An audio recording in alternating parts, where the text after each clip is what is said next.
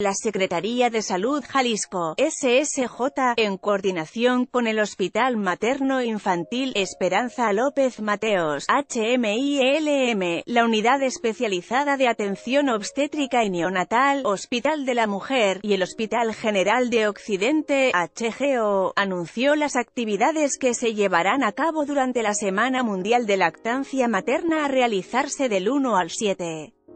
de agosto, la coordinadora estatal del Programa de Salud Materna y Perinatal de la SSJ, Margarita Mondragón Galindo, destacó que durante esta semana se promocionará con especial énfasis la importancia de la lactancia materna exclusiva durante los primeros seis meses de vida, además de que se brindará capacitación y orientación sobre los beneficios de esta práctica. Lee también, la importancia de la lactancia materna agregó que también se ofrecerán pláticas sobre entornos adecuados para que la madre amamante a su bebé, orientación sobre técnicas adecuadas de amamantamiento y almacenamiento de la leche materna.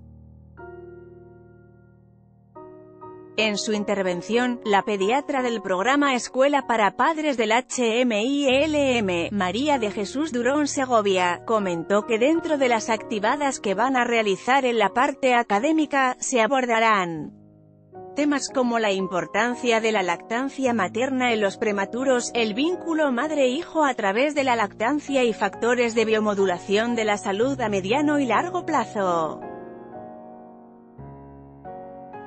Lee también, lactancia materna es en realidad necesaria. Durón Segovia agregó que también se realizará un programa de actividades sociales y culturales donde se convocará la participación de los grupos lactivistas de la comunidad del área metropolitana de Guadalajara, los cuales participarán en la Expo de la Vía Láctea en el HMILM a realizarse del 1 al 7 de agosto. Lo más importante y trascendental de la lactancia materna es que se requiere que se capacite a la madre.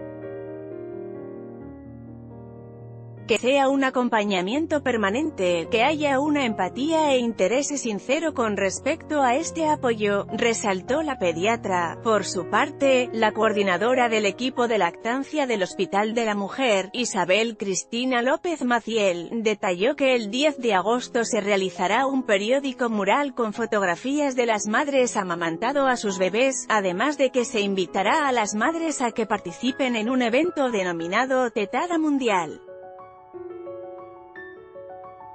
Indicó que en el Hospital de la Mujer se cuenta con un lactario y se acepta y recibe a toda madre que desee donar leche, además de que se les brinda apoyo, orientación y ayuda psicológica.